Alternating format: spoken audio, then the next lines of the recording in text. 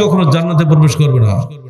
আপনার মেয়ে যদি বিপর্যয় ঘুরে বেড়ায়, আপনার বউ যদি বিপর্যয় ঘুরে বেড়ায়, আপনি আদায় করেন, ঠিক আপনার আপনি কারও নাম আসেনি, আবু নাম আসেনি, আবু সুফেদের নাম আসেনি, আবু লাহাবের নাম আসছে কোরআনে। ওই কারণে সেই এক প্রথম ব্যক্তি যে আল্লাহ রসুলের পায়ে পাথর মেরে তাকে রক্তাক্ত করে দিয়েছিল। যদি আজকে মুসলমানদের মধ্যে, এই ছোট্ট সর্বনিম্ন স্তরটাও যদি আসতো আমাদের মধ্যে আমরা একে অপরের ক্ষতি করতাম না। আমার একটা তাজা কলিজাকে বাঁচিয়েছে এই মহিলা। আমি ওর সমস্ত পেছনে গুণা ক্ষমা করে দিলাম। যাও, জান্নাতে চলে যাও। যাতা কথা বলে? কুল্লু মত প্রত্যেকটা মানুষ মরবে, আমিও মরবো। আমার উপায় কি হবে? পুরো সমাজকে ধ্বংস করে দিচ্ছে এই নারী পুরুষের অবাধ মেলামেশা। এর বিরুদ্ধে আমরা সারা জীবন বলে যাচ্ছি এখনও বলব আগামী দিনে বলব বলব মৃত্যুর আগ পর্যন্ত বলে যাব সরকার পারলে আমাদেরকে আবারও কারাগারে ঢুকাক তাও বলো কিন্তু এই হক কথা আমাকে বলতেই হবে। আহলেদিস আন্দোলন বাংলাদেশ। আসুন পবিত্র কুরআন ও সহি হাদিসের আলোকে জীবন গড়ি। জন্য এবং যাবতীয় দরুদ ও সালাত শেষ নবী মুহাম্মদ রাসূলুল্লাহ সাল্লাল্লাহু আলাইহি ওয়াসাল্লামের জন্য। বগুড়া আলতাফুন্নেসা খেলার মাঠ একটি ঐতিহাসিক সম্মেলনের মাঠ। রাজনৈতিক দল, ধর্মীয় দল সবাই এই মাঠে আসেন।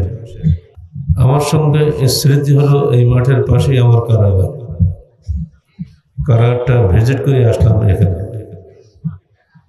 কারাগারের লাল দেওয়াল আগের মতোই আছে।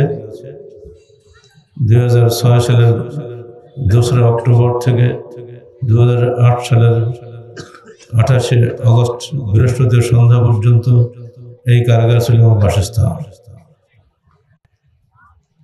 দীর্ঘ দুই বছরের অধিক স্মৃতি বিজড়িত এই কারাগারে আমি যে কেন ছিলাম, আমি জানি না। তবে এটুকুই দেখেছিলাম, দশটি মামলার মধ্যে একটি মামলা ছিল বগুড়ায়। শাহজাহানপুরে আমি একটা মানুষ খুন করেছি। তৎকালীন এখানকার এমপি সাহেব আমার সঙ্গে কারাগারে ছিলেন। লজ্জিত ছিলেন তিনি। আমাকে বড় ভাই বলে ডাকতেন। একদিন বলেছিলাম, ভাই, আমি কখন বড় এসে মানুষ খুন করলাম? আপনি খবর রাখেন না? হ্যাঁ না, কোনো উত্তর দিতে পারার ক্ষমতা তো তার নাই। যাই হোক, স্মৃতির আয়নায় অনেক কিছু ভেসে ওঠে। গতকাল গেছিলাম দিনাজপুরে। তার আগের দিন ছিলাম নওগাঁতে, সেটাও কারাগার। বাংলাদেশের সাতটি কারাগারে, ঢাকা শহর সাতটি কারাগারে। দীর্ঘ তিন বছর, ছয় মাস, ছয় দিন কাটানোর জ্বালা বহন করে আমি আনন্দিত ছিলাম আল্লাহ পাকের সিদ্ধান্তের উপরে, আর রেজাবিল কাদা আল্লাহ পাকের যেটা সিদ্ধান্ত হয়েছে, তার উপরে সন্তুষ্ট থাকে মৌনের দায়িত্ব। তাই এই কারাগারের মধ্যে যে সেল আছে, জেলের মধ্যে সেল, জেলের মধ্যে জেল তাকে বলে সেল, অর্থাৎ কোনো মানুষের সঙ্গে দেখা হবে না। নিঃসঙ্গ থাকার যন্ত্রণা ভোগ করার জন্য এটা ব্রিটিশ আমলে করা হয়েছিল। সেই আমলে সেইভাবে এখনও চলছে। একশো তেইশ বছর পূর্বের এই পুরনো সেলের দশ ফুট বা ছয় ফুট ছোট্ট আয়তনের ছেলের মধ্যে আমাকে থাকতে হয়েছে। প্রায় তিন বছর বাকি ছয় মাস ছিলাম টিন শেডে। সেখানে বসে এখন যা বুঝি জীবনের শ্রেষ্ঠ কর্ম আল্লাহ করিয়ে নিয়েছেন। নবীদের কাহিনী এক, দুই, তিন, অর্থাৎ সিরাত রসুল। ওই সেলের মধ্যে বসিয়ে আমাকে দিয়ে আল্লাহ করিয়ে নিয়েছেন।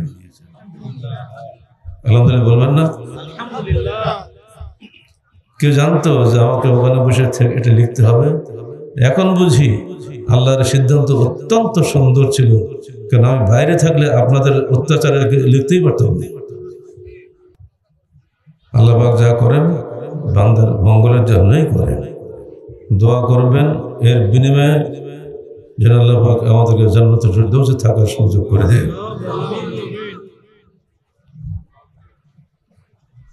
আল্লাহ পাক শুধু তাই করেননি, আমাদেরকে দিয়ে সারা বাংলাদেশে সাড়ে বারোশো মসজিদ করিয়ে নিয়েছেন। এই বগুড়াতে তেত্রিশটা মসজিদ করা আছে আমার। কোন এমপি, মন্ত্রী, প্রধানমন্ত্রীর দেশ তো এটা, সাবেক। তাকে জিজ্ঞেস করবেন আবার তো ক্ষমতা আসতেছে, আসেন। ডক্টর গালেব, এখানে থেকে তেত্রিশটা মসজিদ করেছে, আপনি কি একটাও করেছেন? কিসের জন্য ভোট চান? জনগণের সমর্থন চাচ্ছেন কিসের বিনিময়ে? কিছু করলে তো সমর্থন পাবেন। কিন্তু না, মানুষ পাগল। হুজুগি বাঙাল একটা কথা আছে না?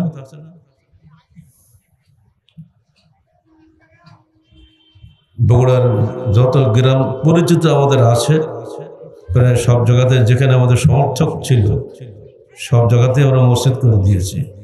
বিনিময়ে তাদের কাছ থেকে কোনোদিন পাঁচটা টাকাও চাই নাই, কোনোদিন একটা ভোটও চাই নাই। যদি চাইতাম, অবশ্যই অন্য কেউ ভোট পাইতো না। আনকনসেস্টেড এমপি হওয়ার সুযোগ আমার ছিল। কিন্তু ওইসব ধারে কাছেও আমরা চাই না। আমরা আল্লাহর জান্নাতের এমপি হতে চাই দুনিয়ার জেলখানার এমপি হতে চাই না।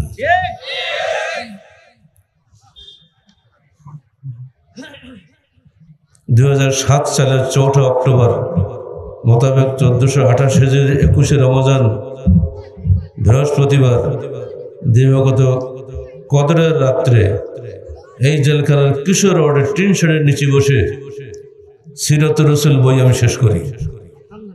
বলুন আলহামদুলিল্লাহ। দুই সালের চৌঠা অক্টোবর একুশের রমজানের কি হয়? কদর রাত্রে না? ওই রাতেই আমার সিরত রসুল শেষ হয়েছে। এর চেয়ে বড় সৌভাগ্য কিছু হতে পারে না। বারোশো দশ পৃষ্ঠা লেখা। পরে কমিয়ে কম ছোট হয়েছে আটশো চুয়ান্ন পৃষ্ঠা। অন্যদের কদর রাত ইবাদত কেটেছে, আমার কদর রাত আল্লাহ রসুলের চরিত্র লেখায় ব্যাপৃত থাকার সুযোগ আল্লাহ আমাকে দিয়েছে আল্লাহ রসুলের জীবনটা গিয়েছে সংগ্রামে জীবন তিনি ঘরে বসে বসে তসবি তেলাওয়াত করার সুযোগ তার ভাগ্যে ছিল না। তিনি সুফিগিরি করে এই দেশে ইসলাম কায়েম করেন এই সারা পৃথিবীতে। জীবনের শেষ দশ বছর তাকে মক্কা থেকে বিতাড়িত হয়ে যান মদিনা যেতে হয়েছে, সেখানে গিয়েও তাকে সাতশো একাশি দিন জিহাদের ময়দানে কাটাতে হয়েছে। অর্থাৎ প্রায় দুই বছর তিনি রাস্তাঘাটে শত্রু মোকাবিলা করে, রক্তাক্ত ইতিহাস মোকাবিলা করে তিনি ইসলামকে ইসলামের সত্যটাকে দাঁড় করিয়েছেন। শুধুমাত্র কাবা ঘরে বসে দোয়া করে ইসলাম আনেন নাই। তিনি রেখে গিয়েছেন মৃত্যুর আগে সর্বশেষ ভাষণ। আইয়ামে তাশরিকের দ্বিতীয় দিনের ভাষণ তার এই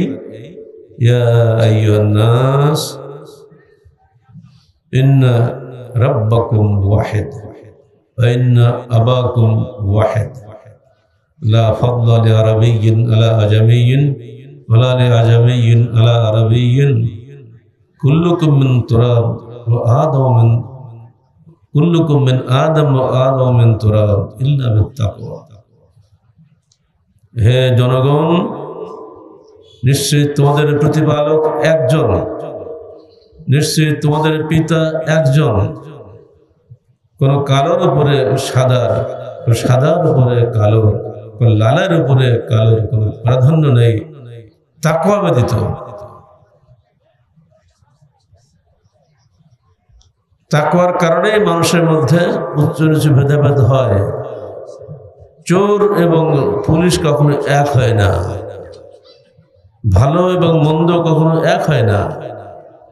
তাকওয়ার পক্ষের বা তাকওয়ার বিপক্ষের মানুষ কখনো এক হয় না।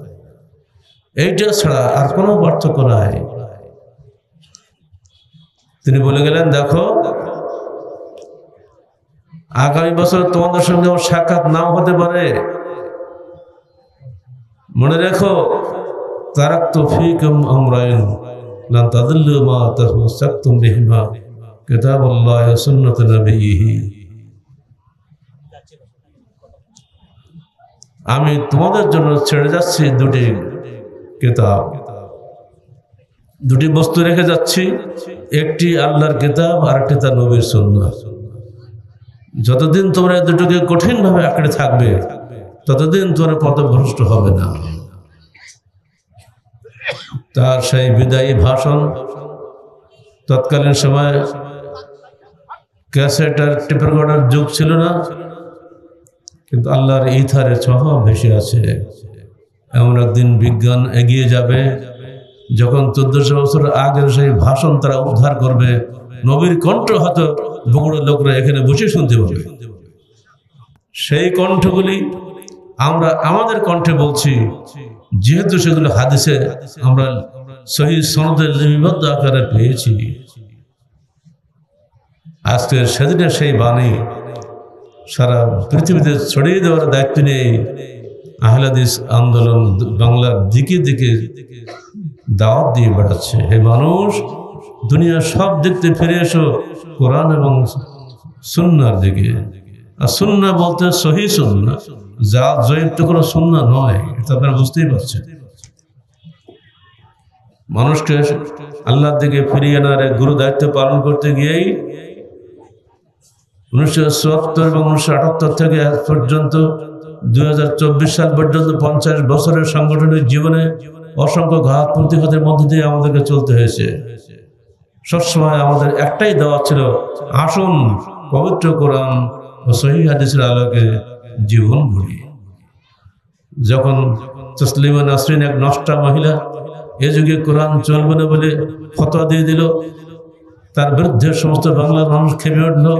উনিশশো চুরানব্বই সালের উনত্রিশে জুলাই আসাদ গেট থেকে ফার্ম গেট পর্যন্ত বিশাল মানিক মিয়া এভিনিউর বিশ লক্ষাধিক মানুষ যখন মুহুর্মুহ তকবির ধ্বনিতে মানুষ মাত্র দুই মিনিট দশ সেকেন্ডের ভাষণ ছিল সেদিন আমার সবাই বলেছিল, একসঙ্গে সকল বিধান বাতিল করো, বহির বিধান কায়েম করো। আপনারা এই ময়দানকে উচ্চকিত করে জোর কণ্ঠে বলুন আল্লাহ আপনাদের সাক্ষী হবেন। বলুন, সকল বিধান বাতিল করো। বলেন। এটাই হলো আমাদের এটাই হলো আমাদের রাজনৈতিক স্লোগান। সৃষ্টিকে সৃষ্টিকর্তার অধীনে রাস্তায় পরিচালনা করাই আমাদের রাজনীতি। আমরা সৃষ্টি। আমাদের সৃষ্টিকর্তা আল্লাহ। আল্লাহ যে রাস্তা দেখিয়ে দিয়েছেন, সেই রাস্তা চলা এবং চালানোই হলো আমাদের দায়িত্ব। বাবা আমি জিন এবং ইনসান সৃষ্টি করেছি শুধুমাত্র আমার ইবাদত করার জন্য, আমার দাসত্ব করার জন্য। মানুষ কখনো মানুষের দাসত্ব করতে পারে না। চলুন যাই দূর অতীতে, একটা হাদিস আপনাদের সামনে আমরা তুলে ধরি। হাদিসটা শুনলে আপনি বুঝতে পারবেন কীভাবে তিনি দাওয়াত দিয়েছেন। আর মোহাম্মদ মনকাদের আন্নাউ সামিয়া রবিয়ত আপনি ইবাদত দেওয়ালি يقول رأيت رسول الله صلى الله عليه وسلم بمنى في منازلهم قبل أن يهاجر إلى المدينة يقول يا أيها الناس إن الله يأمركم أن تعبدوه ولا تشركوا به شيئا মোহাম্মদুল ইমন কাদের বলছেন তিনি রবিয়া বিন এবাদত দোয়ালিকে বলতে শুনেছেন তিনি বলছেন আমি দেখলাম রসুল্লাহ সাল্লামকে মেনার, তাবুতে তাবুতে গিয়ে দাওয়াত দিতে দেখলাম। আপনারা জানেন, হজের মৌসুমে কোনো যুদ্ধ বিগ্রহ, সে যুগও চলতো না, এ যুগও চলে তিনি দাওয়াত দিচ্ছেন কে? ইয়া আইয়ুহান হে আল্লাহর বান্দারা, তোমরা আল্লাহর ইবাদত করো। ইন্নাল্লাহ ইয়ামুরুকুম আন তা'বুদু ওয়া লা তুশরিকু বিহি শাইয়্যা তিনি তোমাদের নির্দেশ দিয়েছেন যে তোমরা তার ইবাদত করো এবং তার সঙ্গে কাউকে শরীক করো না। ওরা ইন্না ঠিক তার তিনি বলছেন একই ভাষায়, হে জনগণ, ইন্না হাযা ইয়ামুরুকুম আন তাতরুকু দীনা আবাইকুম এই ব্যক্তি তোমাদের নির্দেশ দিচ্ছে যে তোমরা তোমাদের বাপদাদা চোদ্দ পুরুষের দিন পরিত্যাগ করো। ফলে তুতিউহ তোমরা এর অনুসরণ করো না। আল্লাহ রসুল আবার আর এক তাবুতে গেলেন। সেখানে যে দাওয়াত দিচ্ছেন ইয়া ইহান্নাস কুলু লা ইলাহা ইল্লাল্লাহ, তুফলিহু। তোমরা সবাই বলো, আল্লাহ বলতে কোনো প্রশ্ন নেই তাহলে তোমরা সফল কাম হবে। পিছিয়ে পিছিয়ে আরেকজন ভদ্রলোক তার এই পায়ের গোড়ালিতে পাথর ছড়ে মারছে, তার পা রক্তাক্ত হয়ে যাচ্ছে। তিনি বলছেন কাযাব তোমরা এর অনুসরণ করো না, কারণ সে ধর্ম থেকে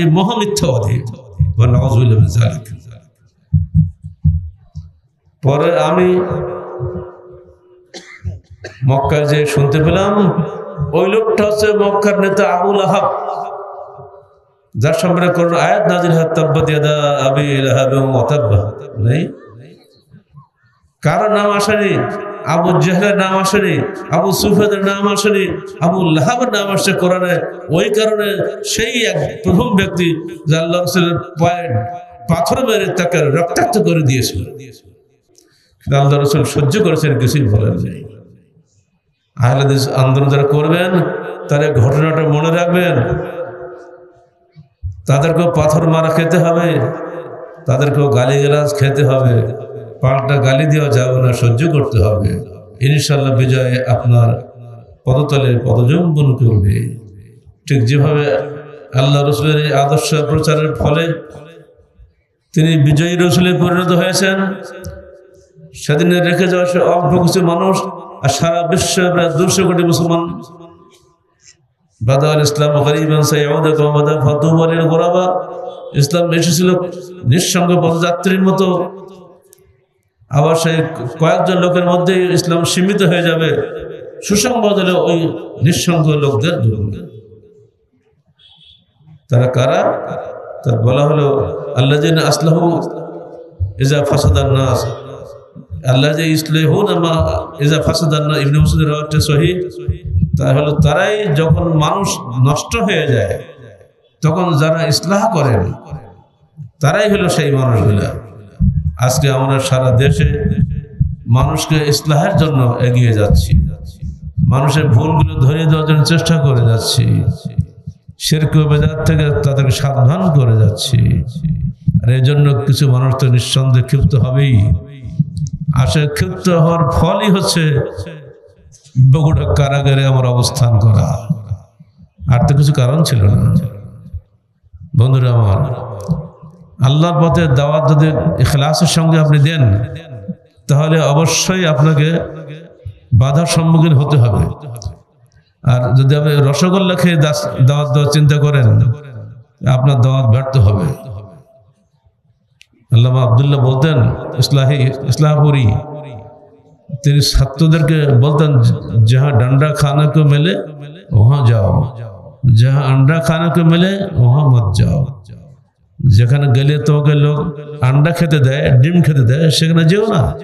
যেখানে গেলে তোমাকে লোক ডান্ডা মারে, সেখানে যাও। মোল্লা আবদুল্লাহ ঝাও তার একটা নাম ছিল ডান্ডা মার। বাড়ি ছিল পশ্চিমবঙ্গে। রাজশাহী জামিরাতে এসেছিলেন। জামিরার মার্কাজ আহলাইসের কেন্দ্র ছিল এখন তো গোল্লায় গেছে। ওনার হাতে সবসময় লাঠি থাকতো। যার চুল লম্বা দেখবে সোজা মাথা মেরে ফাটাই দেবে। যদি কেউ দেখা যায় সালাত শহীদদেরকে পড়ছে না, সঙ্গে হাতের পর বাড়ি মারে। বেটা, রফাদের কর কোনো ওয়াজ নসিহাত নেই। ওনার ভয়ে মানুষ সোজা হয়ে যেত। ও তো মেরে দেবে। এজন্য নামই ছিল আবদুল্লাহ ডান্ডা মার সে যুগের এই সমস্ত আপোষহীন মানুষগুলো ইতিহাস সৃষ্টি করে গিয়েছে। যারা আমার থিসিস পড়েছেন, তারা এদের জীবনী পাবেন। উপমহাদেশের বিশাল ভারতবর্ষ ব্যাপী সর্বত্র আহলেদিস আন্দোলন চলেছে এমনি করে আপোষহীন গতিতে। এখন আমাদের জীবনটা হয়েছে আরামের জীবন জীবন। আর সেজন্য আপোষহীনতা আস্তে আস্তে কমে যাচ্ছে, আপোষ কামিতে বেড়ে যাচ্ছে। আর আপোষ কামে না হলে তো দুনিয়ার লাভবান হওয়া যায় না। না। দুনিয়ার লাভ ছাড়েন। আখরাতের লাভটা দেখেন। মনে রাখেন আল্লাহ রসুলের আরেকটি ভাষণ। তিনি বলছেন, ইয়া ইহান নাস, ইয়া ইয়া বনি আব্দুল মুত্তালিব, আনকাজু আনফাসাকুমিনান নার। হে আব্দুল মুত্তালিব বংশধররা তোমরা নিজেদেরকে জাহান্নামের আগুন থেকে বাঁচাও। হে ফাতেমা বিনতে মোহাম্মদ, তুমি ওর মেয়ে হিসাবে আমার কাছ থেকে সম্পত্তি, যা কিছু খুশি নিয়ে নাও মনে রাখো আখেরাতে আমি তোমার কোনোই কাজ দেবো না। তুমি নিজেকে জাহান্নামের আগুন থেকে বাঁচাও। ইয়া আব্বাস ইবনে আব্দুল মুত্তালিব আনকাজ নফসাকা মিনান নার। হে আমার চাচা আব্দুল আব্বাস বিন আব্দুল মুত্তালিব, তুমি নিজেকে জাহান্নামের আগুন থেকে বাঁচাও। ইয়া সাফিয়া বিনতে আব্দুল মুত্তালিব মিনান নার। হে সাফিয়া, আমার ফুফু, তুমি নিজেকে জাহান্নামের আগুন থেকে বাঁচাও। আমি তোমার সন্তান হিসেবে কিছুই করতে পারব না। এমনি করে করে ডেকে ডেকে নাম ধরে ধরে উনি বলছেন, যিনি নিজের মেয়ে ফাতেমার জন্য কিছু করতে পারবেন না, নিজের ফুপুর জন্য কিছু করতে পারবেন না, নিজের চাষার জন্য কিছু করতে পারবেন না। সেখানে আমরা কি করে মনে করি যে আমরা অমুকের কাছে মুড়ে ধরেই আমরা জান্নাতে চলে যাব? এত সহজ নয়। কারও কোনো ক্ষমতা নাই। বন্ধুরা আমার, আজকের বাংলাদেশ সংঘাত বিক্ষুব্ধ একটা দেশ। এদেশে আমরা সবসময় নানাবিধ পরিবেশ নিয়ে কাজ করছি। গতকালকে বলেছিলাম যে আমরা চারটি আদর্শের সংঘাতের মধ্যে বসবাস করছে।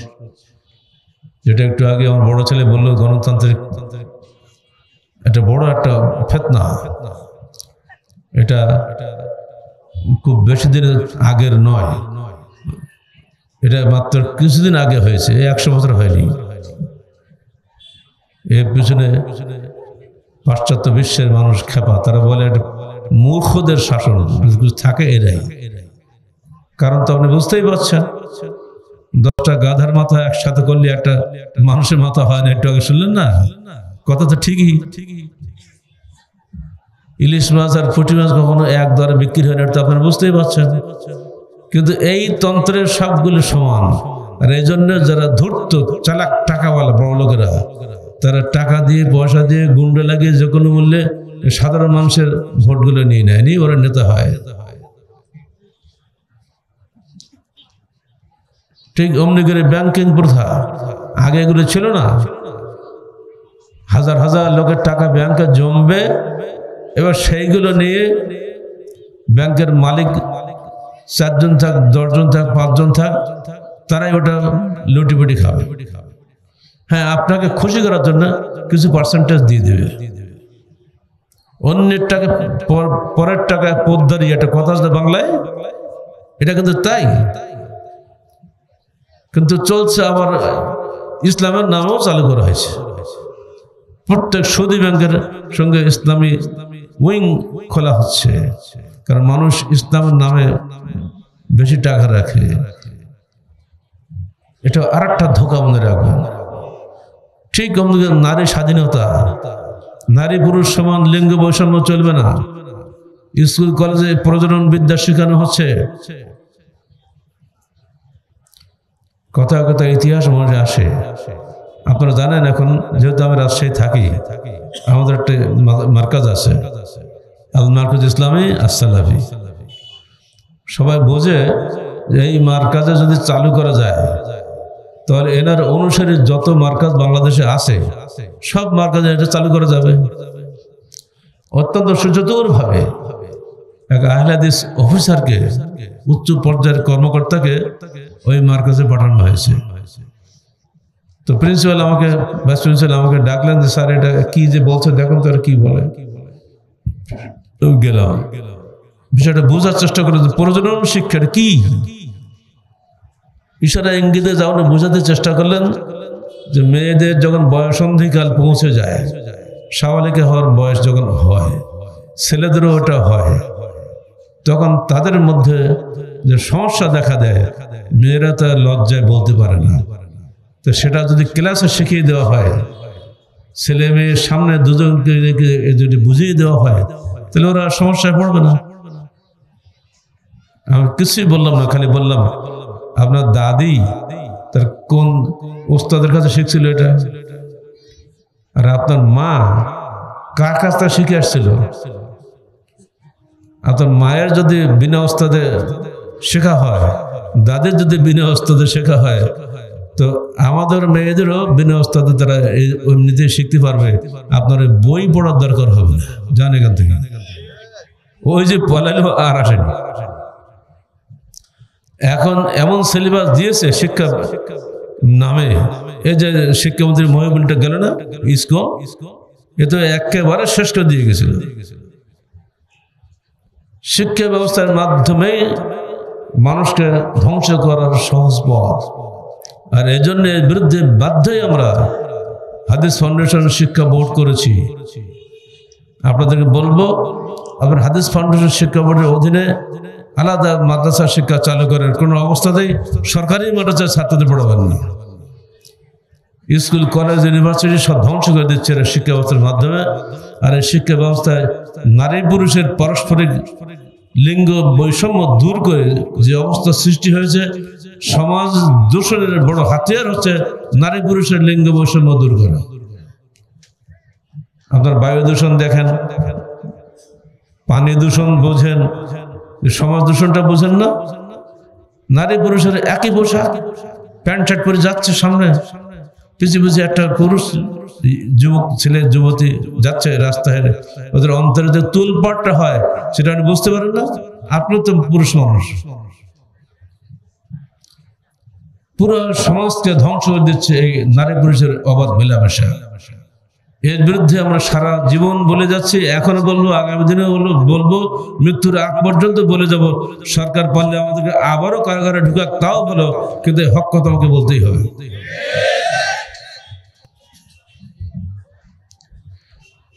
আপনারা ঠিক বললেন, খুশি হলাম। আপনাদের মেয়েরা কীভাবে চলে, আপনাকে নিজে বাড়িতে যাচাই করেন আপনাদের বউরা কীভাবে চলে, আপনি যাচাই করেন। আর দা ইউস জান্না দা ইউস কখনো জান্নাতে প্রবেশ করবে না। আপনার মেয়ে যদি বিপর্যয় ঘুরে বেড়ায়, আপনার বউ যদি বিপর্যয় ঘুরে বেড়ায়, আপনি পাশ্চাত্য সালাদাতে করেন, ঠিক আপনার আপনি দা ইউস জানেন সে অন্যায় করছে। চোখের জেনা নেই কানের জেনা নেই, হাতের জেনা নেই, জানেন তো আপনার এগুলো সব? আপনার মেয়ের দিকে কত অসংখ্য লোলুক দৃষ্টি পড়ছে, দৈনিক হাজার হাজার চোখের জেনা হচ্ছে। আপনি বাপ হিসেবে বরদাস্ত করতে পারেন এগুলো? না ও ছেলে মানুষ, বয়স বয়স হলে ঠিক হয়ে যাবে। জি না, ঠিক জীবনও হবে না। সহ শিক্ষা বাতিল করুন সহ কর্মস্থল বাতিল করুন নইলে সমাজ ধ্বংস হবে, এ রোধ করার ক্ষমতা কারণ নাই, কোনো সরকারের নাই। পুলিশ দ্বারা দিয়ে কখনো এগুলি করা সম্ভব না। যে পুলিশ এগুলি দুর্গত আসবে, সে পুলিশই তার সাথে না করবে। সুযোগ পেলে সেও ছাড়বে না। নারী পুরুষের অবাধ মেলামেশা যতদিন থাকবে, ততদিন সমাজ দূষণ থাকবে। যখন পৃথক হয়ে যাবে, আর সমস্যা নেই। আল্লাহ বলছেন, দেখো, হুন্না লেবাসুল্লাহ আন্ত লেবাসুল্লাহ হুন্না। তোমরা তাদের পোশাক, তারা তোমাদের পোশাক। দুজন, দুজনকে কখনো ছেড়ে থাকতে পারবে না। কিন্তু পোশাকবিহীন যদি তুমি থাকো, তাহলে সেখানে অবশ্যই আগুন ধরে যাবে। এই যে ইলেকট্রিসিটি দেখছেন তো আপনারা? এখানে দুটো কেবল আছে, একটা লাল, একটা কালো, আছে না? ওটা মাঝখানে প্লাস্টিক পর্দা দেওয়া আছে না? প্লাস্টিকের পর্দা দিয়ে কোথাও ছিন্ন হয়ে যায় তেলা পোকা দিয়ে কেটে যায়, দুটো যদি টাচ লেগে যায়, তার অবস্থা কি হবে? একবার আগুন ধরে যাবে না? ঠিক যদি নারী পুরুষের পর্দা ছাড়া এমনি যদি চলাফেরা করেন, সমাজ ধ্বংস হয়ে যাবে। এই সমাজ ঠেকানোর কোনো ক্ষমতা তো নাই। দূর অতীতে দেড় হাজার বছর পূর্বে আল্লাহ রসুলের কাছে, আল্লাহর পক্ষ থেকে সুরা আহজাব তিপ্পান্ন আয়াতে পর্দার আয়াত, ফরজের আয়াত নাজিল হয়। উনষাট আয়াতে জিলবাব নাজিল হয়, ঢিলে ঢালা পোশাক করা মা বোনেরা তোমরা। মায়েদের চরিত্র আলাদা, পুরুষের চরিত্র আলাদা। এটাকে এক করার চেষ্টা করবেন না। এই এক করার চেষ্টা করতে গিয়েই তো সমাজের এই দুর্গতি হয়েছে, আরও হবে।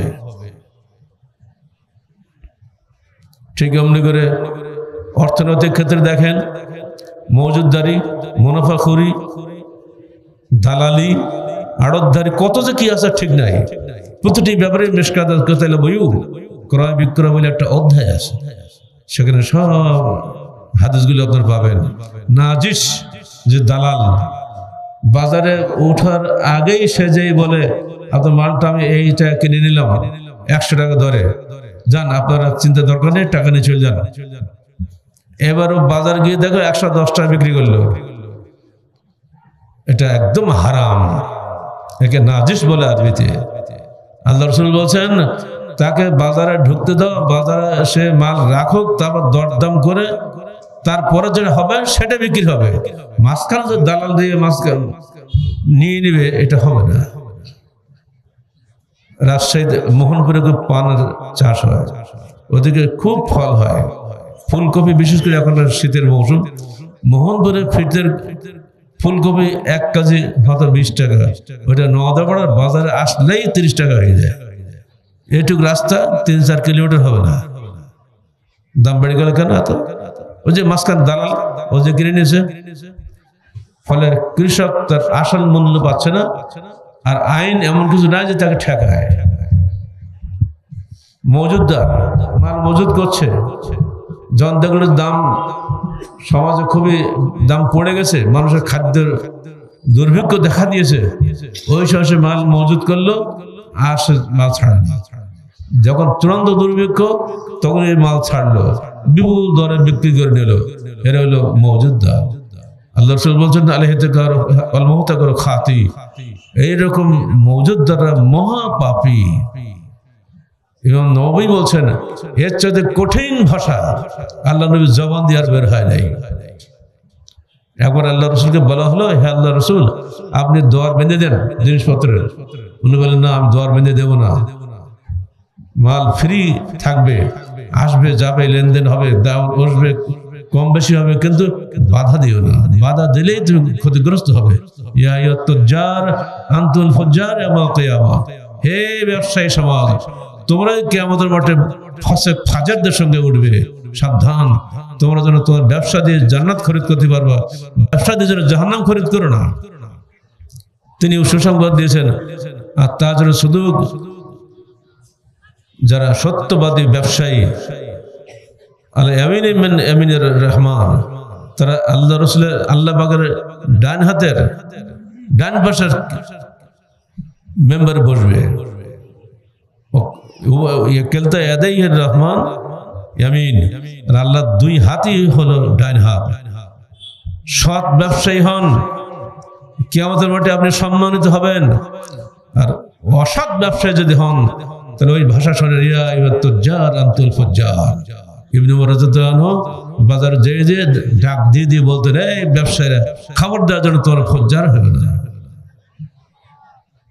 সমাজের সার্বিক উন্নতির স্বার্থে ইসলাম কথা বলে, ইসলাম করে সালাদ সিয়াম নিয়ে বসে থাকে না। অনেকের ধারণা, এই জলসা মানে তো সালাদ সিয়াম নামাজ পড়ো রোজা করো, এই তো, জি না। আপনি পাশাক তো মুসলি ঠিক আছে আপনার, কিন্তু আপনার পেটে ঢুকছে হর হামেশা অন্যায় ব্যবসা হারাম টাকা। ঘোষণা রসুলের, দেখো, লা ইয়াদখুল জান্নাতে জাসাদুন গুযজাবিল হারাম। হয়তো আবকর থেকে বর্ণনা এসেছে, হাদিসটা এসে এসেছে। তিনি বলছেন, ওই দেহ কখনোই জান্নাতে প্রবেশ করবে না। যে দেহ হারাম খাদ্য দ্বারা পুষ্টি লাভ করেছে। আর কিছু বলার আছে? কোনটা হারাম, কোনটা হালাল কিন্তু আপনারা পর থেকে বুঝেন। যেখানে ঠকবাজি আছে, ওখানে হালাল আছে নাকি? এর জন্য কোনো আলম আলমা লাগে না। নিজেই বুঝতে পারে যে কোথায় ঠকাচ্ছেন মানুষকে। নিজের দেহকে, নিজের খাদ্যকে হারাম মুক্ত করুন আর ভেতরটা এখলাস যুক্ত করুন। তিনটা শর্ত না হলে আপনার আমল কবুল হবে না। সহি আকিদা, সহি আমল আর এখলাসে নিয়ত। বিশুদ্ধ আকিদা যেন শিরিক থাকবে না, রিয়া থাকবে না। বিশুদ্ধ আমল যেন বেদাত থাকবে না। ইখলাসে নিয়ত যেন রিয়া বা প্রদর্শনী থাকবে না। এই তিনটা শর্ত একত্রিত হলে তবেই সেই আমলটা আল্লাহ কাছে কবুল হয়। যদি আমাদের মধ্যে এগুলো না থাকে, তাহলে ইনশাল্লাহ আমরা মুক্তি পাবো। কেমন মুক্তি পাবো? যে হাদিসগুলো আপনারা সবাই জানেন। একজন লোক নিরানব্বইটা খুন করেনি? নিরানব্বইটা খুন করার পরে সে আল্লাহকে ভয় পেয়েছে যে আমাকে তো মরতেই হবে। কুল্লু নফসের জায়গাতের ম প্রত্যেকটা মানুষ মরবে, আমিও মরবো। আমার উপায় কি হবে? একজন আবেদ সবসময় আল্লাহ করে বসে বসে। তার কাছে যেই বলল, হে আবেদ ভাই, আমি তো নিরানব্বইটা মানুষ খুন করেছি, আমার কি তবা আছে? তোর আবেদ বলল, না, তুমি যে পাপ করেছ, তোমার তবা কি? ঠিক আছে, তোমাকে যদি একশো পূরণ করি। তাকে এক কপে মেরে ফেলি আবার চললে সামনের দিকে। রাস্তায় গিয়ে একজন আলেমের সঙ্গে দেখা। ভাই, আপনি তো আলেম। আমি একশো মানুষ খুন করেছি। আমার কি তবা আছে? তাহলে অবশ্যই আছে, কেন থাকবে না? আল্লাহ কি বলেননি? আসরাফু হে ওই সব মানুষ যারা নিজের উপর জুলুম করেছ, তোমরা আল্লাহ কাছে তওবা করো। ইন্নাল্লাহ ইয়াগফিরু যুনুবা জামিয়া। নিশ্চয়ই আল্লাহ সকল গুনাহ ক্ষমা করে দিবেন। তাই? তাহলে আমাকে কি করতে হবে? ওই যে ওই কিছু লোক দেখছ, ওই দূরে একটা গ্রাম দেখা যাচ্ছে। ওই গ্রামের লোকগুলো খুব নেককার মানুষ, ভদ্র, ওরা হারাম খায় না, ওরা অন্যায় করে না। তুমি ওদের সঙ্গে বসবাস করো। সৎসঙ্গে স্বর্গবাস অসৎ সঙ্গে সর্বনাশ। তোর ওখানে যাও, তাহলে তুমি মুক্তি পাবা। তখন ওই লোকটা তখন পাগলের মতো ছুটছে সেদিকে যাওয়ার জন্য। অর্ধেক পথ গিয়েছে, ইতিমধ্যে মেলাকের মমত এসে হাজির। আজাবের ফেরেস্তা রহমতের ফেরেস্তা ঝগড়া শুরু করেছে। আজাবের ফেরেস্তা বলছে, আমি ওকে নেব। রহমতের ফেরেস্তা বলছে, আমি ওর রুমটা নিয়ে যাব। আল্লাহর হুকুমে কেউ কোনো কোনো হাদিসে এসছে আল্লাহ নিজেই তাকে এগিয়ে দিলেন। শেষে দুজনে মিলে বলল, ঠিক আছে, আল্লাহ আল্লাহ কি করব? আল্লাহ বলল, তুমি মাপো, দেখো সে কোন দিকে বেশি এগিয়ে যাচ্ছিল।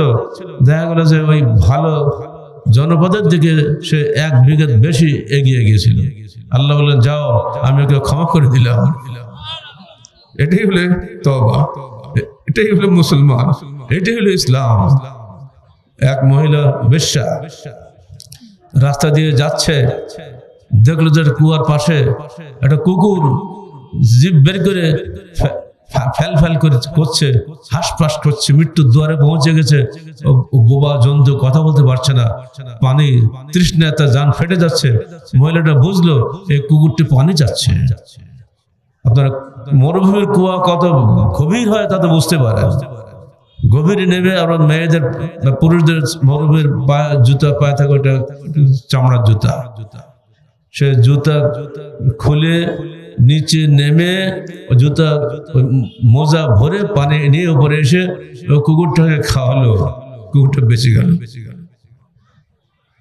কুকুরটা ফেল ফেল করে তাকিয়ে গেছে মহিলার দিকে। আল্লাহ পাক বললেন যাও আমার একটা তাজা কলিজাকে বাঁচিয়েছে এই মহিলা। আমি ওর সমস্ত পেছনে গুণা ক্ষমা করে দিলাম। যাও, জান্নাতে চলে যাও। যাতা কথা বলে? একজন লোক রাস্তা দিয়ে যাচ্ছে। রাস্তার উপরে কাটা বিছানো একটা ডাল পড়ে আছে। দেখল তো, এই যে কাটা বিছানো ডালটা পড়ে আছে। এতে মানুষের যেতে কষ্ট হচ্ছে তো। তিনি নিজে নিজে যাওয়াটা বাদ দিয়ে ওই ডালটা নিয়ে সরিয়ে এক পাশে রেখে দিলেন। যাতে মানুষের যাতায়াত পথে কোনো বাধা দূর না হয়, বাধা দূর হয়ে যায়। আল্লাহ এটা দেখে খুশি হয়ে বললেন, এই বান্দা আমার অন্য বান্দাদের চলার পর সহজ করে দিয়েছে। ইমামতাতুল আজানের তারিখ রাস্তা থেকে কষ্ট দূর করে দিয়েছে। যে আমি ওর জান্নাতের কষ্ট দূর করে দিলাম, জান্নাতে চলে যাও। এই তো ইসলাম। ইমানের একশো স্তর আছে না? তো সর্বনিম্ন স্তর আছে রাস্তার কাটা দূর করা। সর্বোচ্চ স্তর হচ্ছে লাইলাহ ইল্লাল্লাহ।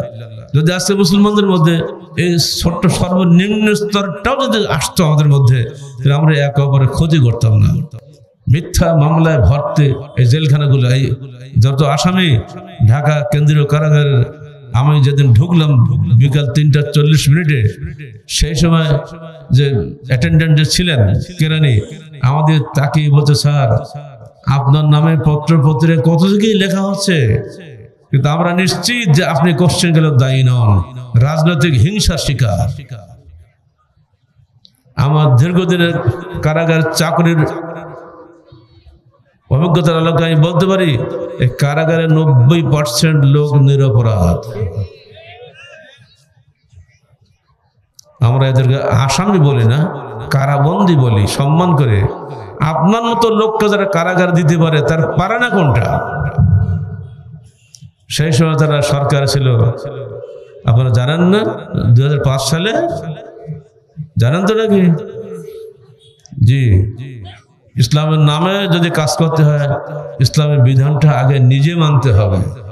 ইহুদি নাসারাদের তরিকায় কখনোই জান্নাত পাওয়া যাবে না। ইহুদি নাসারাদের তরিকা হচ্ছে ওগুলা। বলেন তরদা আঙ্কেল ইহুদু বলেন নাসারা হাত্তা তাত্তা মিল্লাত আল্লাহ বলছেন, ইহুদি নাসারা কোশ্চেন কাল হে মোহাম্মদ, তোমার উপরে খুশি হবে না, যতক্ষণ না তুমি তাদের দলভুক্ত না হও। আমরা তাদের দলভুক্ত হয়ে যদি কাজ করি, আমাদেরকে ইহুদিন আসারদের মতোই জাহান্নামে হতে হবে, ওদের সাথে আমাদেরকেও চলে যেতে হবে। যারা দৈনন্দিন হাজার হাজার টন বোমা মেরে ফিলিস্তিনি মুসলিম ভাইদেরকে হত্যা করছে, নারী শিশুদের হত্যা করছে, তাদের আদর্শ নিয়ে যদি আমরা আবার বাংলাদেশে ইসলামের নামে কাজ করতে চেষ্টা করি, আমরা ভুল করব নাকি? ভুল পথ থেকে আমাদের সরে আসা ভালো। আমরা আমাদের নিজের আকেদার উপর দৃঢ়ভাবে টিকে থাকব। তকদিরে আল্লাহ যা রাখেন সেটাই হবে। ভবিষ্যতের খবর কেউই বলতে পারে না। তৌহিদ, রিসালাত, আখরাত, তাওয়াক্কুল ও তাসকিয়া নফস এই পাঁচটা জিনিস মনে রাখবেন। তৌহিদ আগে, রিসালাত তারপরে, তারপর আখরাত লক্ষ্য। ওইলে না তোর যাওন তোমাদেরকে আমি মন্দ দিয়ে, ভালো দিয়ে পরীক্ষা করব, অথবা তোমরা সবাই আমার কাছে ফিরে আসবে। আমাদেরকে কোথাও যাওয়ার উপায় নেই, মরতেই হবে। পৃথিবীর সকল মানুষের মধ্যে একটা ব্যাপারে ঐক্য মত আছে। মতভেদ নেই। সেটা কোনটা? মৃত্যু। মৃত্যু যে হবেই। এই ব্যাপারে কি ভোটাভুটি করা লাগবে? হিন্দু হোক, মুসলমান হোক, জৈন হোক, খ্রিস্টান হোক, প্রত্যেকটা মানুষই মরবে। আর মরার পরে তাকে আল্লাহ কাছে যেতেই হবে। এটা অনেকে মানে না। কিন্তু আল্লাহ বলছেন ওইলাই না তোর যেমন আমার কাছেই তোমাদের ফিরে আসতে হবে। আল্লাহ যদি এই কথা বলেন, বান্দার বলার কোনো সুযোগ আছে যে আমি যাব না? যেতেই হবে সেখানে। সেখানে গিয়ে আমাদেরকে পরীক্ষা দিতে হবে। পরীক্ষায় হয় জান্নাতি হব, না হয় জাহান্নামি হব। যদি আমরা বিশ্বাসী মজবুত হই, তাহলে ইনশাল্লাহ আমরা জান্নাতি হব। আর যদি আমরা অবিশ্বাসী হই, তাহলে জাহান্নামি হব। মেয়েরাজে আল্লাহ রসুলকে নিয়ে যাওয়া হলো। আল্লাহ রসুল বলছেন, হে জিবরিল, এই ঘরটা কার? এই ঘরটা তো তোমার ঘর। কি? হ্যাঁ এটা তো মকাই মাহমুদ। তা আমি একটু দেখে আসি না, এখন হবে না। তোমার এখনও হায়াত বাকি আছে, মরার পরে ঢোকা যাবে। তখন আল্লাহ নবী হাদিস বললেন, দেখো, যে ব্যক্তি কি বলে, আজানের পরে এই দোয়াটা পড়বে যেটা আমরা পড়ি। এবং বলে আসহ মকামাম মাহমুদান লাজি ওয়াত্তা তুমি হে আল্লাহ, আমার মোহাম্মদকে ওই স্থানে পৌঁছে দাও, সেই মকায় মাহমুদের প্রশংসিত স্থানে, যার ওয়াদা তুমি করেছ। যদি কেউ এটা পড়ে, হাল্লাত লাহু সাফা তার জন্য আমার সাফাত অজীব হয়ে যাবে। দুর্ভাগ্য মুসলমানদের সে আজানের দোয়ার মধ্যে ওরা তালগোল পাকিয়ে ফেলে দিয়েছে। যোগ্য করেনি? না, বুখারি মুসলিম হাদিস যেটা রয়েছে, সহি হাদিস, ওটাই আপনি বলুন। এর বাকিটা উল্টা পাল্টা করলে ওটা আল্লাহ নবী ধরবে। বাট আমি যা বলিনি, তুমি তো বললি কেন? তুই বেশি মত বাড়াইছো নাকি? কারণ হাদিস তো ওহি। ও তো আল্লাহর আল্লাহর বিধান। আল্লাহ যা বলেছেন সেটা নবী বলছেন। হাওয়া ইল্লা ইউহা। তিনি কোনো কথা নিজে বানিয়ে বানিয়ে বলেন না। আল্লাহর ওহি নাজিল না হওয়া পর্যন্ত। আজানের দোয়াটাও আল্লাহর শেখানো ওহি। আরে ওইটাই আমরা বলব, যা আসু ঠিক তাই। বন্ধুরা আমার, সেদিন একদল লোককে জাহান্নামে ফেলা হবে। একটা আয়াত আসছে অজিয়াদা মোমিনদেরকে জান্নাত দেওয়া হবে অজিয়াদা মানে অতিরিক্ত আর কিছু দেওয়া হবে। অতিরিক্ত কি দেওয়া হবে এর অর্থকে বুঝতে পারে না। ব্যাখ্যা আল্লাহ রসুল নিজে দিয়েছেন। এটা হলো এই যে মোমিনরা জান্নাতে গিয়ে আল্লাহকে স্বচক্ষে দেখবে, স্বরূপে দেখবে। আর এর চাইতে উত্তম মুহূর্ত আনন্দ ঘন মুহূর্ত মোমিনদের ভাগ্যে আর হবে না।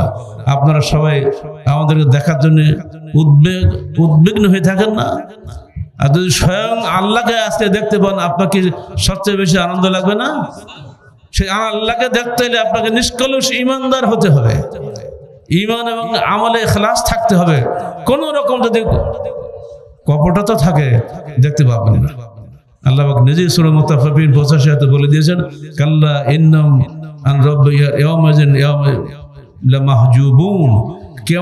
আল্লাহ অবিশ্বাসী কপট বিশ্বাসী লোকদের অন্ধ করে দিবেন। আল্লাহকে চেষ্টা করো আল্লাহকে দেখতে পাবে না। আল্লাহ কিয়ামতের দিন তুমি যেন আমাদেরকে তোকে সচকে দেখা তোকে দান করো। আহ, আমাদের ইমানকে আমাদের আমলকে স্বচ্ছ করে দাও। আমাদের ভিতরে ইখলাস এনে দাও। যাবতীয় থেকে আল্লাহ তুমি আমাদের মুক্ত করো। এই মুহূর্তে যদি মৃত্যু হয় আল্লাহ যেন সরাসরি তোমার দিদার লাভে আমরা সন্তুষ্ট হতে পারি। পরিশেষে আজকের আলতামনুজা খেলার মাঠে এবং আশপাশে সবাইকে আন্তরিক ধন্যবাদ জানাচ্ছি। এখানে আসলে আকুলি বিকুলি করে। ওই যে কালো গাউনগুলা, পুলি কি বলে ওটাতে? অ্যাডভোকেট তাই না? বলেছিলাম, ভাই, আপনাদের উপরটাও কালো, ভেতরটাও কালো। তো স্যার, কি করব? আইনের গেড়া কলে পড়ে গেছে। সবার আগে এই বাতিল আইন বাতিল করুন। সরকারকে বলব, এই যে দীর্ঘসূত্র আইন, এটা সবার আগে শেষ করুন। মানুষকে হয়তো কষ্ট দেবেন না। এই শাহজাহানপুর থানায় যে আমি কোন গ্রামে মানুষ খুন করলাম, সে গ্রামবাসী ডাকলে তারাই বলতো যে এখানে ডক্টর গালিকর মানুষ খুন করে নাই। এইটুকু করার জন্য আমাকে আট বছর, আট মাস, আঠাশ দিন বিভিন্ন আদালতে ঘুরতে হলো। এই কি বিচার ব্যবস্থা চলবে সারা জীবন? তিপ্পান্ন বছর দেশ স্বাধীন হয়েছে, এখনও পর্যন্ত স্বাধীন বিচার ব্যবস্থা হলো না। দলীয় বিচার ব্যবস্থা চলবে ব্রিটিশের রেখে যাওয়া এই ফালতু বিচার ব্যবস্থা এখন কেন চলবে? অবশ্যই অবশ্যই এটা বাতিল করা উচিত। আমরা শুরু থেকে দাবি করে আসছি, আজও দাবি করছি, আপনারা চান যে এই ফালতু বিচার ব্যবস্থা দেশে থাক, ডাইরেক্ট বিচার ব্যবস্থা প্রত্যক্ষ বিচার ব্যবস্থা নিয়ে আসুন, খুব সহজে বিচার শেষ হয়ে যাবে একটু সময় লাগবে না। লক্ষ লক্ষ টাকা মানুষ ব্যয় করছে, একটা একটা মামলা ঠকিয়ে দিয়ে, মিথ্যা মামলা দিয়ে মানুষকে হয়রানি করছে। বহু মানুষ এগুলি করে বেড়াচ্ছে। এগুলোতে বাঁচতে গেলে পুরো বিচার ব্যবস্থা পাল্টাতে হবে। বিচার ব্যবস্থা পাল্টানোর জন্য মানসিকতা দরকার। যারা রাজনীতি করেন, তাদেরকে বলছে দয়া করে নিজে এমপি হওয়ার মন্ত্রী চিন্তা বাদ দেন। আগে সমাজ পরিবর্তন করার চেষ্টা করুন। আহলেদিস আন্দোলন, সমাজ বিপ্লবের আন্দোলন, সমাজ পরিবর্তনের আন্দোলন, শির্ক, বেদাত, উচ্ছেদের আন্দোলন, এই আন্দোলন পবিত্র কোরআন ভিত্তিক জীবন গড়ার আন্দোলন।